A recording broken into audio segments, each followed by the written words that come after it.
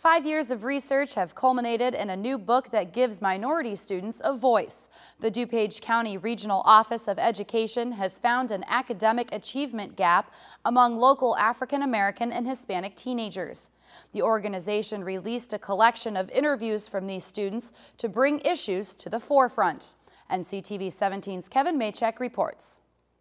In their book Voices, Dr. Lourdes Ferrer and Stephen Garlington capture comments from minority students among 20 different high schools throughout DuPage County about why they think African American and Hispanic students score lower on standardized tests than their Caucasian and Asian peers. Some of them are saying the schools are racist or the schools are biased. Some of them are saying uh, uh we don't value education the way that we need to value education. One student said, the African American male wants to just get by and hope for some type of miracle of some sort. I think that they think just coming to school and hopefully graduating is good enough. Another wrote, I think Hispanics don't expect to achieve high because they think that they are different from white and Asian students.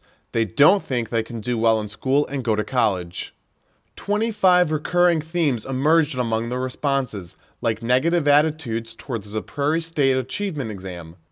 According to the 2011 Illinois State Report Card, 64% of white and 66% of Asian 11th graders demonstrated reading proficiency on the exam, compared to only 33% of Hispanics and 25% of African Americans. That's one of the things the African American and Latino students say. You know, it's too hard to read, the test is too long, or oh, we're supposed to finish the essay and answer the questions too fast. Many black students say they often fear rejection from peers of the same race. There's a a premise that permeates the the culture primarily of African American, too many African Americans, and that is to be smart is not cool.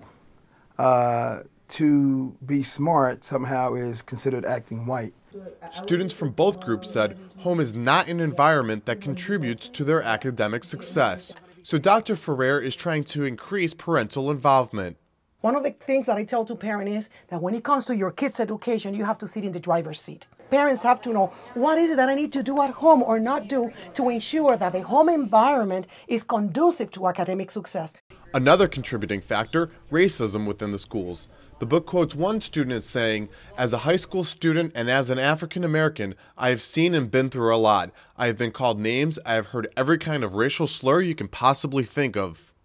As the number of minorities continues to rise in the U.S., both Ferrer and Garlington say it's important to implement programs that take care of the concerns these students have shared. If we don't educate more Latinos and we don't educate more blacks to get them to achieve at the higher levels, it's going to affect the future of our nation. The book also offers 27 different recommendations for closing the achievement gap, like encouraging schools to attract black and Latino educators and modifying the school's appearance to promote appreciation for different cultures. I'm Kevin Machak for Naperville News 17. The Regional Office of Education has made strides towards closing the achievement gap.